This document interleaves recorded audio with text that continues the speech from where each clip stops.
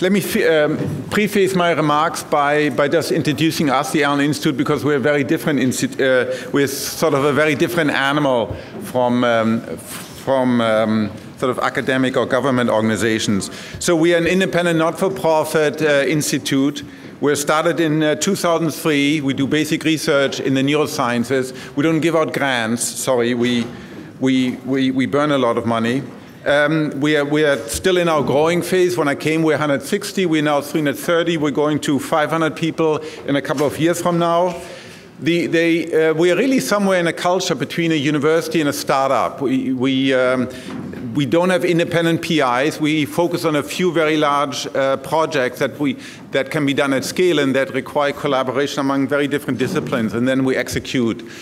We're now in a, in a, in a second 10-year plan, uh, so we have a 10-year runway. Well, actually, uh, now it's reduced to six years. We have a six-year runway left, um, and it's roughly um, it's roughly a billion dollars um, over over this time. Um, and so this 10-year plan is really to build, uh, to understand comprehensively in mouse and in in, in um, uh, human cortex, a tiny bit of matter, roughly one by one by one millimeter, to understand all the constituent elements in that, particularly all the different cell types, to understand all the different types of synapses, to understand their development, to understand the neuroanatomy, to understand it, at least in mice, in behavior of, in, in the context of a behavior, and then to model all of that at a variety of scales, from very fine, detailed biophysical model to much more abstract point or population models. Um, we just moved into a new building that Paul, Paul Allen has given, to, uh, given us a couple of months ago. It's a gorgeous new building, all open space. Uh, and so we're all together, 300 of us in a couple of years, 500 of us scientists, engineers, and other specialists focusing on brain. So this is our donor, um, Paul Allen. The vast majority of our funding comes from uh, Paul Allen, who um, uh, who, who, really wants to understand how the brain works. This is not about making any money. We have right now no patents. We have uh, everything we do, we do, uh, we put online. So we are about uh, big science, not at the scale of LHC, but certainly in the scale of uh, biology and neuroscience, where a typical lab is 10 or 15 people. Uh, we assemble a large team and then open science in the sense that everything we do, we put out for anybody to download freely. So and this is not in theory, this is not in the future, but this is actually, we've been doing this since more than 10 years, where all the data that we produce is publicly accessible via API once they pass internal quality control. You don't have to get a login, you can download everything we do without any commercial restriction, and all the data are accessible typically uh, two to three years before uh, the, the, associated papers come out in Nature or Nature Neuroscience. That's where almost all of our papers ha have come out. Um, somewhat similar to what uh, Karlheinz show, showed you, we also have a ten, we have a detailed 10-year plan, but if we really reduce it, since we are sort of more in a startup, rather than giving you a book, we have a one-page chart that we give everybody to put in their wallet, so we all know where we are and how uh, where we have to go. And this is what we promised Paul. This is what we promised our external advisory boards. We get uh, we, we have external advisors coming in, checking us out, so that we remain on on track. We have product releases three times a year. We just had one last Thursday, and we work very, very, very hard, just like in a, bio, uh, in a, in a tech startup, in order to meet our deadlines for our data releases. So we're doing all sorts of things for the community. Particularly, we're pushing hard, working with many in the community to uh, build standard uh, protocols. So we can all exchange data called Neurodata Without Borders. So whether it's ephys data or photon calcium imaging data, we can all use the same data and the same meta metadata we give out. We've given out close to 20,000 transgenic mice now, um, hardware, special purpose electrodes, etc. So we studied two, uh, the brains of two animals, mouse and uh, human. They differ by a factor of uh, pretty close to 1,000 in terms of mass, in terms of size, in terms of volume, in terms of area, in terms of number of neurons. Uh, we are focused on neocortex, which is of course only part of the brain. We focus on neocortex because it's a very flexible 2 plus epsilon dimensional computational tissue. Right in us, it's roughly as big as this, like a pizza, 14 inch, two to three millimeters thick. You have two of them highly, uh, you know, rolled up and, and put inside your skull. And if you look in other animals like whales, where the, of course the tissue is much, it's much bigger, the width is more or less the same. Or you look at the smaller animals like a mouse, again, it's, it's, it's, um, it's a thousand times smaller. It's a, it's a square centimeters, but again, the thickness is roughly the same. It varies between 0.9 and 3 millimeter. Um, we also, it's also relatively homogeneous across cortex. Of course, there are many differences locally. And so the belief is that, some, that to first order, it's translational invariant. To first order, despite all the differences that people know of, it's translational invariant. There's some uniform computation that's being performed in a part of the brain that people typically refer to as a column, and that doesn't have to be anal about the column. It constitutes a useful working hypothesis that there's um, sort of um, an elemental canonical um, um, and computation that's being performed in this, in this column, and we are really trying to understand it from a basic biological uh, point of view. Here, it's remarkable similar. One of these tissues, this is part of cortex. One of them uh, is human, the other one is mouse. It takes an expert armed with a microscope or a scale bar in order to say which one is which. So we, I always stress the, the great similarities between human and the mouse brain. Of course, there are differences. People always ask what makes humans special. We are as special as any other species is, right? We, we have specialization, so does any other uh, species.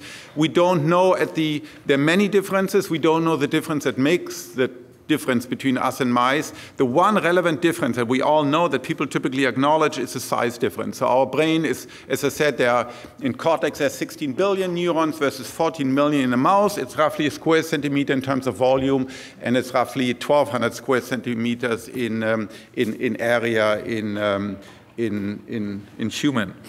That's, I think, the biggest difference. So to look at the, the, the similarity of the uh, architecture of Cortex, particularly the transcriptional architecture, we did this, we released this a couple of years ago. We did large scale in a thousand location in each of six different brains. We did um, microarray technology. Um, uh, this is a lot of data.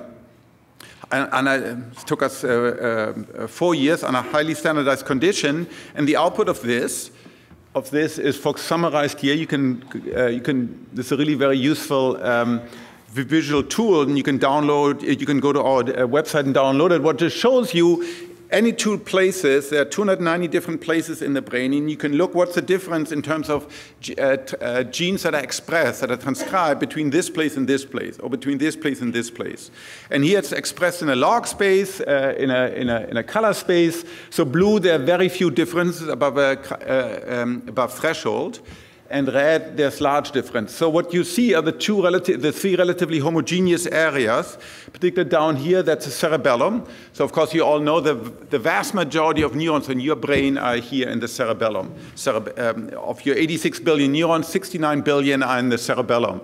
Um, and they're very, they're really very, very similar to each other. Even in cortex, neurons transcriptional described are relatively similar. There are, of course, lots of differences, but they're much more similar to each other than to any other um, um, compared to any other part of the brain.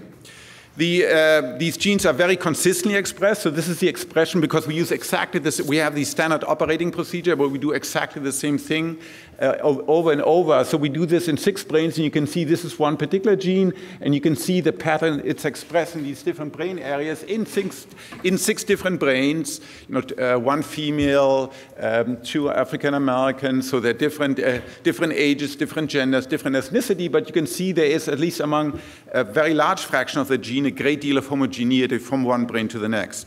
Now, interesting, if you do PCA, if you just focus on the, on the transcriptional architecture at the level of cortex, you do PCA, you can show, you can roughly explain half of the, uh, of the, of the variance by, by space. In other words, um, if you now just, if you unfold the cortical sheet, this pizza, I can put it down and you ask, what's the difference in terms of genes expressed between any two places? Half of that difference is just is given by distance. The farther two places, the farther the, the, the two places where you sample your, your, your cells apart, the, the, and the larger the difference. So it really tells you something very physical about this tissue, right? And, and, and close by, it's more similar than, and then far away.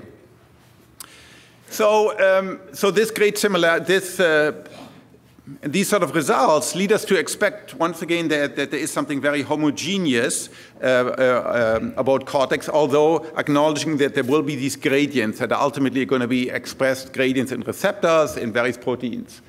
So um, our biggest project is called Project Mindscope, which probably has right now 250 people focused on, where we just look in, in a standard uh, lab uh, mice, uh, C56 J animals. Uh, they're all 56 day old. Well, we look at the visual system.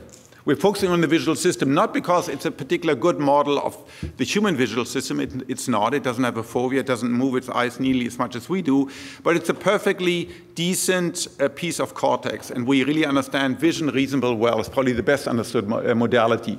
So there are roughly 40, uh, 45,000 neurons that come up from the, from the eye, go through an intermediate relay in the LGN, and then end up in cortex. There are roughly a million neurons in various visual cortical areas, a third of a million in primary primary visual cortex. Now, we do everything, by the way, within, we define this, and we've refined this over the last 12 years, a series of ever more accurate atlases. So now our latest atlas is a 3D volumetric atlas uh, where we have pixels, 10 micrometer pixels, um, where we can locate any neuron that we record, whether it's uh, using electrodes, using optical physiology, doing anatomy, we always can place within this 3D framework with high degree of accuracy. This has, um, at this voxel level, it has a third of a billion voxels, the entire mouse brain. so we have these large uh, data production pipeline so we have one, uh, um, and I'll briefly mention, uh, I'll briefly talk about this. We have one pipeline just for uh, generating high resolution connectivity data. Have another pipeline for generating uh, quite reliable slice data in the slice of, of the individual neurons that, that we want to understand, characterize. And then we're building these brain observatories. We'll release the first data in three, in three, one, uh, three months from now on June 3rd, where we image in real um, uh, image and make available cellular-based data within a very high-resolution framework, within a, both a structural and a functional framework. I'll show, show that to you. Now, what connects all of these is that they all use the same animals. It's visual cortex of young adult C57 black 6J mice. All, of, uh, all, the data is mapped, as I said, to, these, uh, to this uh, common coordinate atlas that we got by averaging data from 1,675 animals, so it's very precise. And we all use common Cre lines. In other words, we all use common transgenic lines, and we make these transgenic lines available to the community. So that's a great advantage. So, so we know then if we are talking about, let's say, a layer 2-3 line that expresses fluorescent labels in layer 2-3 pyramidal cells in visual cortex, we make that available to other researchers, and we're all talking about exactly the same animal. It really leads to a high standardization. And all of this data goes into highly standard, centralized and standardized LIMS um, database. All right. So this is so we've done this now in several thousand mice where we inject um, uh, a virus with a fluorescent tracer that carries specific promoters into a specific part of the brain. We have six trained neurosurgeons that do this day in, day out, so they become very, very good at it. And then we slice it, then we wait two weeks and we slice the brain in 140 slices and we scan in. We have six of these machines running in parallel where we scan in high resolution two photon uh, tomography essentially in, um, in 3D and then where we informationally reconstruct them and, and, and, and make them available. So the first, the, the first version of this that had 300 brains is um, um, came out a couple of years ago. And of course, this is not the, the raw data. The, you, we have access to the raw, you have access to the raw data as well as process data. This, of course, not the raw data because I couldn't show it on my on my Mac. But you can really follow now these these neurons very specifically throughout the entire brain, right? So we inject here and in the mouse brain and then and then reconstruct it through the entire brain. So this gives us, for example, a connectivity matrix. This is a connectivity matrix of 300 animals. So think each um, each um, um, row going across here is one animal where we made one injection, let's say, in the medulla or in the pons or in the cortex. And then we look, and then you can see the, the um, going down the rows is um, where, where does this uh, projection go to? Again, it's a logarithmic scale here. It's a logarithmic color scale. On the left, um, on the on the on the left side, you have the right hemisphere. So we always inject in the right hemisphere. So you see uh, where it projects to in this hemisphere, and on the other side of the slide, you see the targets on the contralateral hemisphere. So it gives you a complete picture you know, you can think of this as a crude version of WIJ. It's not at the single neuron level, but it's at the level of mesoscopic discrete populations, at the mesoscopic level. Right, and so you can see, uh, unlike, uh, unlike, for example, you know, social networks, it's a very densely connected. Typically, 30 to 40 percent of all the entries have entries different from zero, but the amplitude of the connectivity weights vary greatly. They're log normal distributed with probably uh, across five orders of magnitude. So it's not just that an area projects or doesn't project. The, uh, this, of course, makes life for modelers and theoreticians very difficult. But this is very typical of, uh, of brains. Um, so for instance, for visual cortex, where we are uh, focusing on, you know, there's a total input, different areas that, uh, 42 different areas that project into, into primary visual cortex, and at least 34 output projection to 34 different areas. That's the brain. Now, the other complexity of real brains compared to neural networks is there are many, many different cell types, right? So we realized roughly 200 years ago that all uh, biological organisms consist of cells. And then we realized, okay, they're heart cells and kidney cells and skin cells, and now we know they're brain cells. And then, of course, neuroanatomists, starting with the late 19th century, and in combination with the, the, the dye industry, developed all these specific dyes to light up specific cells. So we know they're Purkinje cells, they're photoreceptor cells, etc.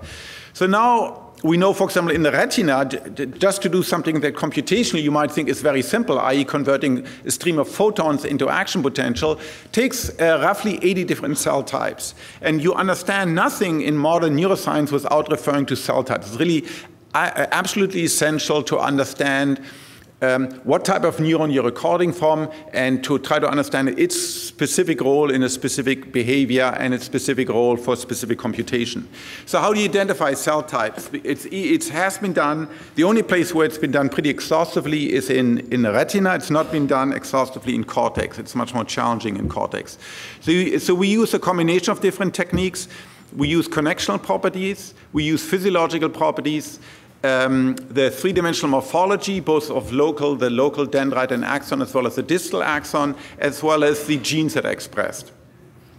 Right? And then we use that in combination with a variety of models. So we do electrophysiology on a, on a standard condition in a slice. In other words, we take slice from visual cortex or LGN or higher order visual areas.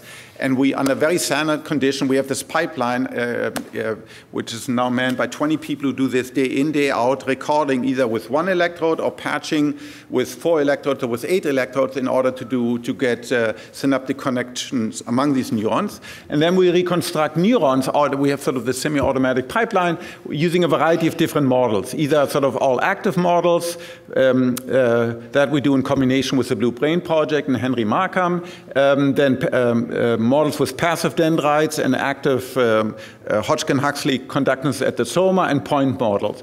Because we want to see, um, and then also we use population models. We'd like to understand what sort of models do you need in order to replicate what function.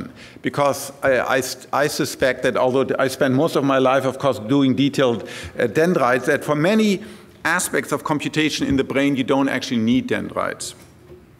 All right, then we have, we have a variety of point neurons. You can download all of them, so not just one. We have, you know, LIFs and, and LIFs and GLIFs and GLM, um, uh, a variety of different um, um, point models. And then here you can see, for example, this pipeline generates. These are uh, some of the cells that are automatically generated. Uh, in black, you can see the experimental data. In red, the simulated data, both for spike trains as well as for individual spikes. And all of this is that you can, as I speak, you can download all of this data. This is um, Allen cell type database. Um, this shows you on the left the, loca the, location. Most of them are in visual cortex, primary visual cortex. Of course, occasionally we also record from and, and from other areas. And at some point, we'd like, once we've once we've satisfied ourselves that we've really completely understood the characteristics of cell types in V1, of course, then we want to replicate this in different areas to try to understand to what extent is it really the same scheme? Is there canonical cell type scheme that's replicated in V1 in all the other areas? I think there is with, with, with gradients. So I think the basic result will be the same, but then there will be these gradients that are superimposed. Anyway, so you can go to this website, you can click on an individual neuron, you know exactly where it is, you can click on it to get its, its uh, morphology, you can click further to get its detailed shape, you can either get the individual images or you can get a three-dimensional reconstruction of its morphology. You can click here to get the individual data. All the, uh, all the, the trial runs have passed quality control. We reject a lot of neurons because they don't uh, uh, pass either morphological quality control or electrophysiological quality control.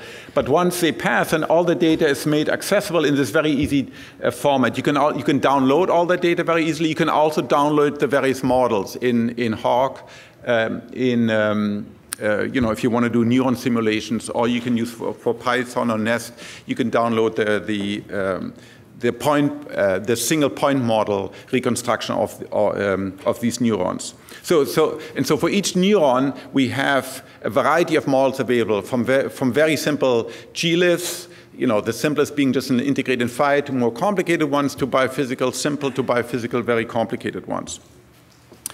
Now. Uh, so uh, I'll show you some data. We have reason to believe there are roughly 50 different cell types, at least in primary visual cortex. And so in principle, that gives rise to 2,500 cell type specific connectivities, right, which we call W alpha beta, where alpha and beta is an index that runs across all the cell types. So, you know, there the evidence seems to suggest that if you, let's say, record from a layer 5 thick-tufted pyramidal cell, they, they make one type of synapses onto another layer 5 thick-tufted pyramidal cell, but they make a different type of synapse that have a, has a different plasticity or different average synaptic weight distribution onto a thin-tufted layer 5 or onto a layer 5 inhibitory cell. And so we have to get all that data, which is, of course, expensive because it's, scale, it's a square. And then, of course, we also want to get the synaptic weight and synaptic properties of the afferent input, right? All the various thalamic areas, the subcortical areas, the other cortical areas, and the modulatory substances that modulate and influence the firing properties.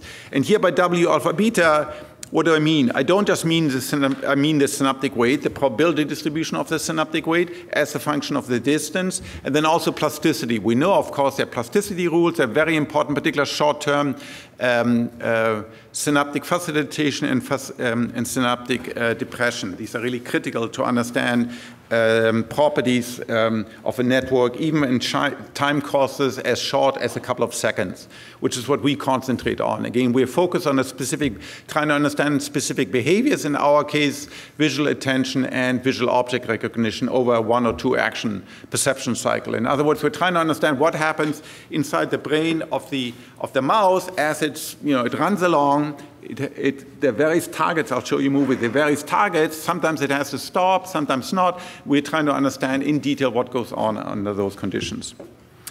We're using both uh, uh, structural data as well as uh, um, electrophysiological data. So this I just mentioned where we do sort of uh, patching with, with four patch or with eight patch to try to get this sort of data. In, in, again, in this is the wonder of transgenic technology, which we can't do in, in humans, of course, but in mouse you can do it so you can label only you know, a subset of all the inhibitory cells in layer 2, 3. Or you can uh, label the layer 1 uh, neurogliaform cells. And then now you can put, a, for example, fluorescent reporter in, and now you can visualize them. They glow, they glow green, and so now you can precisely target them with and with electrodes. So you know you're recording, for example, from, from two um, you know, neurogliaform cells in, in, in, layer one. That's a wonder. And, and we really gotten very good at generating these um, in these mice. Um, and then we're also using structural uh, data. So we are part of the MICrONS uh, uh, program, the IARPA MICrONS program with Clay Reid and Nuno da Costa. So we're doing very detailed reconstruction both array tomography as well as electron microscopy of a, uh, again, of a one by one by one millimeter, um, uh, cubic millimeter of cortical tissue. So we're really trying to do every tool that we have available to really understand in detail to reconstruct this, right, where you cut every 40 nanometers, you got 25,000 cuts, you have to detail reconstruct them, and then you have to annotate that. um, this one by one by one um, piece of this, this speck of brain matter. And then at the same time with Stephen Smith, we're using array tomography where you cut it in 70 nanometer slices, but then you use antibodies, multiple generation of antibodies that you can wash off. So we actually know these are GABAergic synapses, these are glutamatergic synapses, these are noradrenergic synapses, so we can stain them and, and, and know the identity of individual synapses. Yeah, so we're setting up this farm now of, um, of, um, of uh, um, electromicroscopic uh, platforms, so-called TEMCA. These are arrays, camera, high-density cameras array with, uh, with transmission um, electromicroscopy. And then separately, we're setting up this array tomography. So here you can see this. So this allows you, for the, here we image the complete millimeter column. Uh, this is a DAPI stain. You can see the individual cell bodies, and then we can zoom in closer and closer and closer. Now you can begin to see the antibody stains at the level of the individual synapses. So now here for the different colors, these are either excitatory or inhibitory. These are either pre or post-synaptic targets. And we, are, we have a large informational team uh, that uses computer vision, and we work with the Neuromancer group at Google to try to take all this data and do semi-automatic, I mean, the goal, of course, is to completely automated, but that's still uh, in, in the future right now to do a semi-automatic reconstruction. So that in this one by one by one millimeter of tissue, we not only have first imaged it, so we know in a from a behaving animal what the, what the receptor field properties of these neurons are, but then we cut it up and we, we know the detailed wiring using EM, and using this sort of antibody technique, we also know the different types of, of, of synapses. And we know from our previous analysis of cell types how these different cell types, how they behave at least under slice condition. Yeah, and so, so as I mentioned before, we're doing this multi-patching to try to understand the detailed properties of synapses, both chemical synapses as well as gap, um, as well as electrical uh, coupled synapses, and also to understand how these uh, synaptic connectivity properties change as a function of distance between the two neurons that you record from.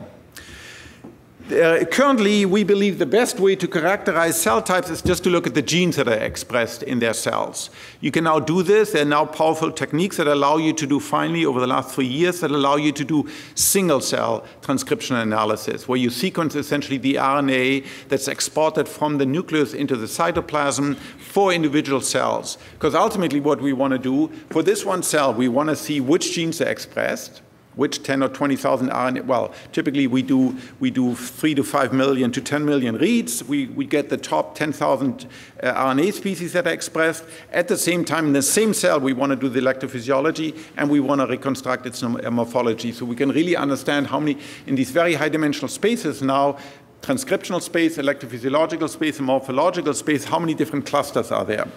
So here we did this, this just came out last month, where we did this purely using transcription analysis, where we found 49 different cell types. So this is in primary visual cortex, and this is sort of expected, and the order of magnitude is, is not surprising. There are 42, um, very satisfying for a nerd like me, there are 42 neuron types. So the answer is actually 42. um, we find there are 23 inhibitory ones, 23 GABAergic ones. They're, they're really essentially clustered in, in four large uh, families, somatostatin, VIP, and Pvalb, um, uh, expressing neurons, and they express in different layers. And this is sort of all roughly compatible with, with what we know from, from, and from other data. And then 19 different excitatory uh, cell types that differ by the genes it expressed. In some of these, we've also have morphology. What we have not done, because it's, it's, it's so far, it really hasn't been possible to do this routinely, where you do both transcriptional and physiological and morphological analysis at the same neuron and then do it at many hundreds or ultimately thousands of cells. So this has been 2,000 cells to try to do it in very large number of cells where you get the answer, uh, where you can combine, yes, by both transcriptional and where they project and the way they look and the way they uh, behave they all behave differently, and there are indeed 42 different cell um, um, and different cell types.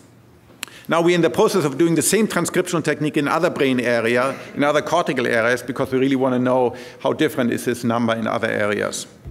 Now we're also doing this in humans, In humans, there are a few differences. So this is a neurosurgical tissue. We work now with five area, uh, local area neurosurgeons, and we, any time now between once um, every week or once every two weeks, we get a piece of human brain.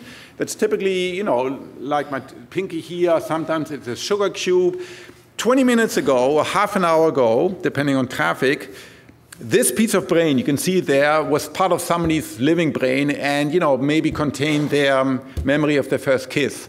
It's now sitting in our lab. Why? Because the, the, the, um, the patient had a deep tissue uh, tumor. So here, for you can see where the yellow arrow points at um, for example, epileptic seizure or tumor. Those are the two um, uh, pathologies we work with. And so to access that, that tissue, to remove it, the surgeon has to cut in his way. So the, the surgeon has to tunnel essentially in.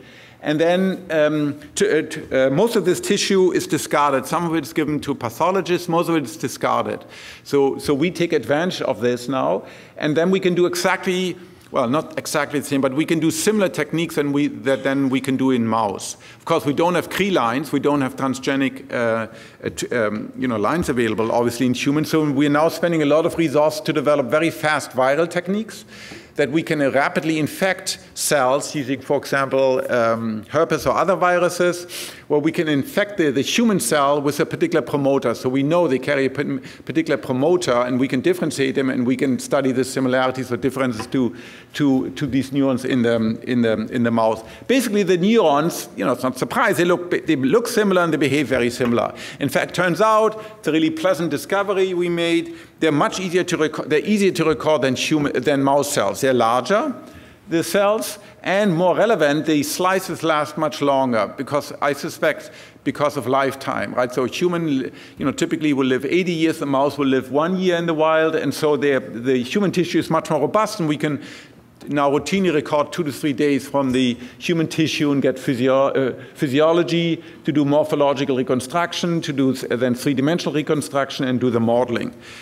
Um, it's been challenging to get because uh, most of the tissue doesn't come from young mice but comes from people who are 30 40 50 60 70 or 80 years old. So it's quite a challenge to extract the, uh, the transcript to do the rna extraction.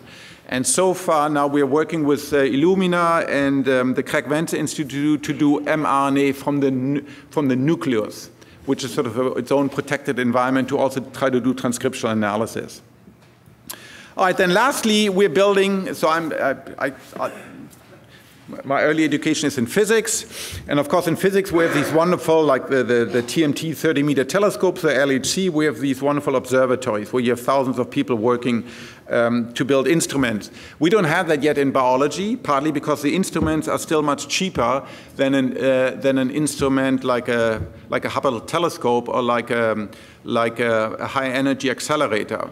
Although that's changing as instrumentation becomes fancier and fancier, and you must do more and more controls in order to get high, highly reproducible, high quality data of the sort that's difficult to obtain in academics labs, where typically you get a beautiful paper uh, in Nature with one PDF, a flat PDF, and you have to believe it or not, and there isn't really any there really isn't any deep data that you can follow up and that, and that you can mine, which of course also leads to the fact that two out of three biological experiments cannot be um, and can't be reproduced.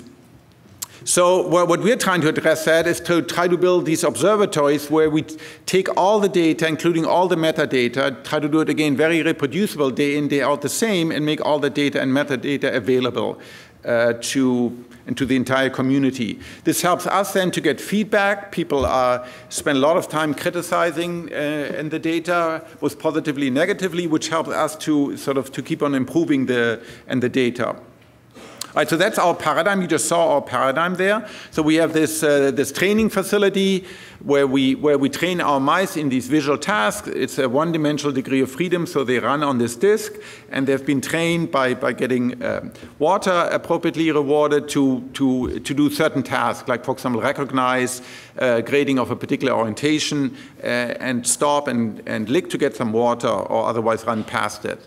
And then, for instance, of course, we want to show that uh, these parts of the brain that we study are actually causally involved. It's not just correlation like in an fMRI experiment of the sort I used to do in human, but we actually want to know that this area is actually causally involved. So again, it's the one of transgenic animals. We can put channel rhodopsin into, for example, the interneurons in V1 and then we can, um, we can pulse a light on there and to show on an individual trial that for that trial, if I turn off V1 for one, uh, for one second, the, the, the threshold of the animal shifts dramatically or, or the behavior goes um, and goes completely away. So we can causally show um, that, that, that, that various parts of the brain are actually involved in the task. Right? That's a great, that's a fantastic advantage that, opto, that these optogenetic tools have given us. Here, for example, we have a visual recognition uh, task where we train the animal to make a discrimination.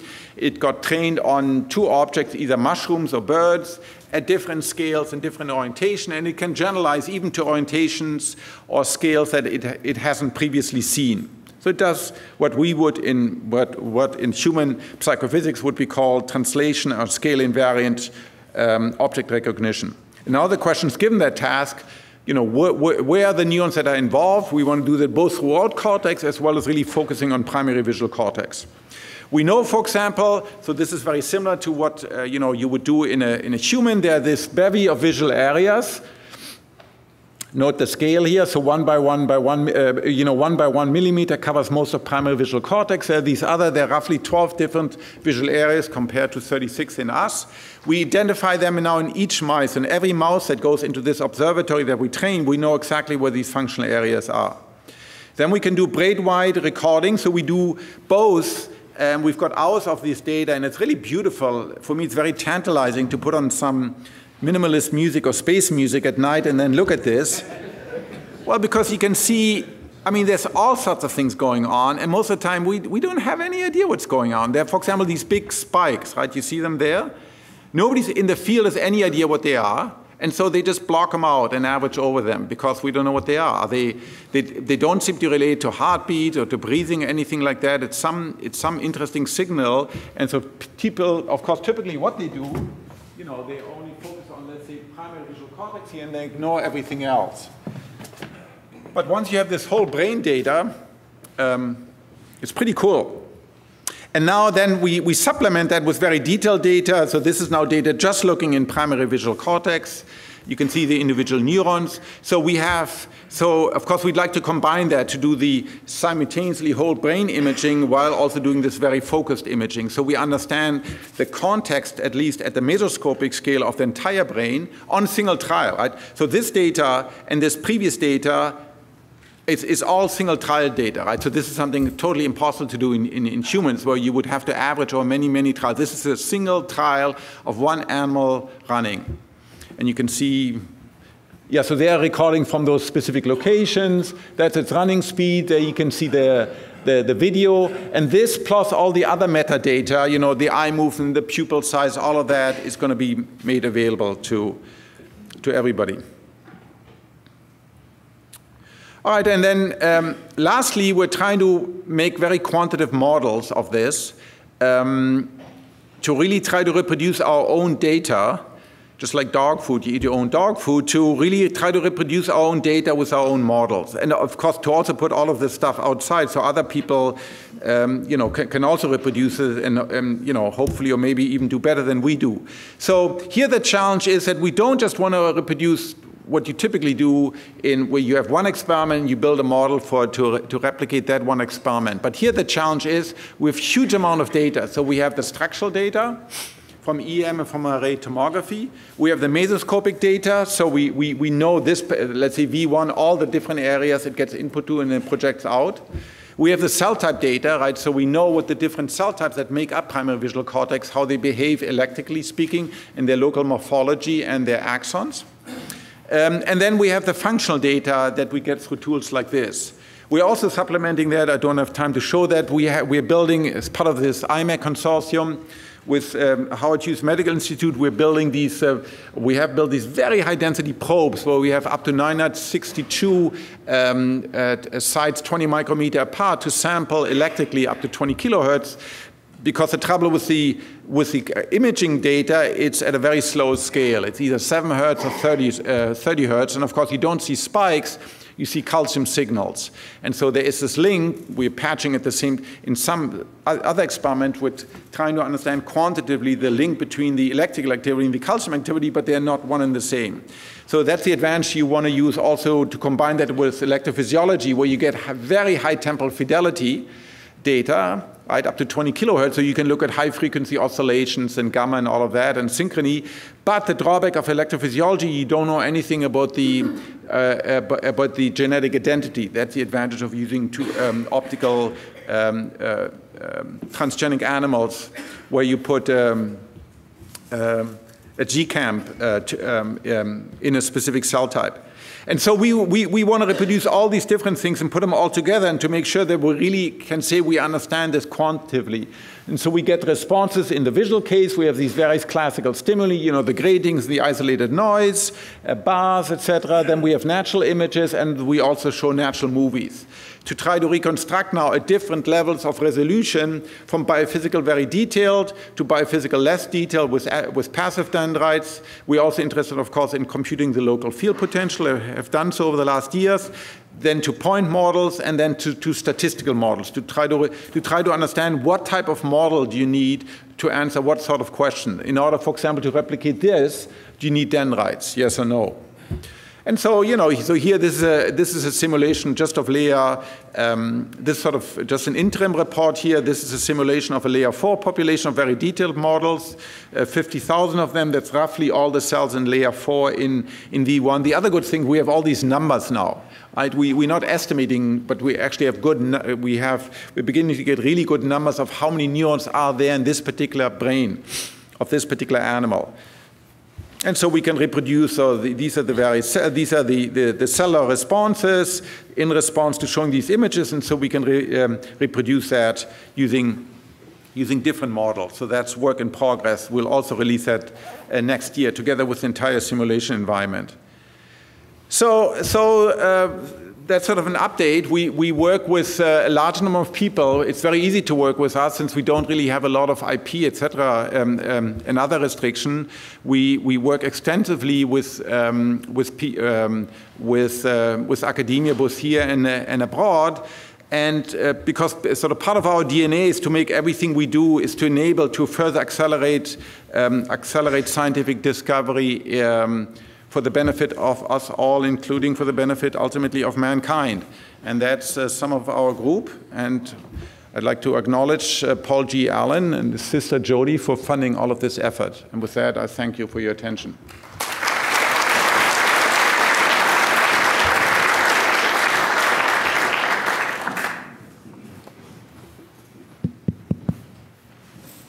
That's a good uh, section of mankind right there. Uh, Christof, your 10,000 cell layer 4 V1 uh, simulation, or, or, any of your simulations, how do you, not just the statistics of average probability of connectivity, but how precisely do you choose to connect the cells? And in particular, if in the real mouse or the real human, two stellates respond to a 30 degree bar, are they more likely to be connected? And how do you arrange that? Yeah, so so we now know that. I mean, there was there was physiological data, and we just uh, Clay Reid just publishing a paper in Nature to show that if neurons are similar neurons. Of, of similar orientation have uh, a are more likely to be connected than if they're dissimilar, and also the, the synaptic size is larger if, if, if you're similar than if you're dissimilar orientation. We don't have learning right now. So we, we, we put in these, uh, so we put in statistical properties, right, measuring this over and over again with statistical distribution and we sample from those distribution. Ultimately, Paul, I think what you're probably driving at, we, we want ultimately a developmental program and that's a totally separate effort we're doing to wire all the thing up and by itself, which, which right now we're not doing for this particular project. Because that's ultimately what you want, of course. Yeah, so, so, I'll talk to you about it next time we, we have a break. it's something that, that DARPA funded us to do for a few years is exactly such a system, and uh, it, it would be great to put it to use. Uh, hello. I have a question about dendrites. So you mentioned that um, in your thinking, there's some functions of the cortex that you can perform without dendrites, and for some you might actually need dendrites. What's your current thinking as to the delineation between those two groups of functions? Well, it really depends. I mean, we know there's all sorts of, I mean, I did this for my PhD many, many years ago, probably before you were born. There's all sorts of cool things you can do in dendrites. The question is, what do they actually do in mouse visual cortex? There's some evidence that they're involved to help sharpen orientation selectivity. So one question is, do we need to put in act, uh, dendrites? And A, is it passive, or do we even need to put in active dendrites to replicate some of the uh, orientation selectivity?